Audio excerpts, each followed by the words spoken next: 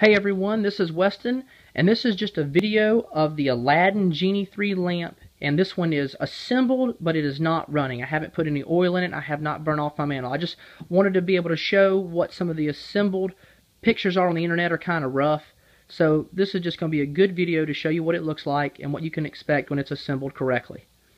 Very easy to put together, check out some of my other videos. Here's It's basically a walk around of the lamp. I have just a standard base. This is a number 23 bur burner, and this one uses the uh, R150 Lox On mantle. Here's a little bit of a close-up of the inside here. Try and get into the light and then turn the lantern. There's the mantle. Here's the, uh, you can see the wick inside there. Here's fill cap, glass base, just a great piece of engineered machinery and I just wanted to be able to show it. Here's the Aladdin uh, chimney.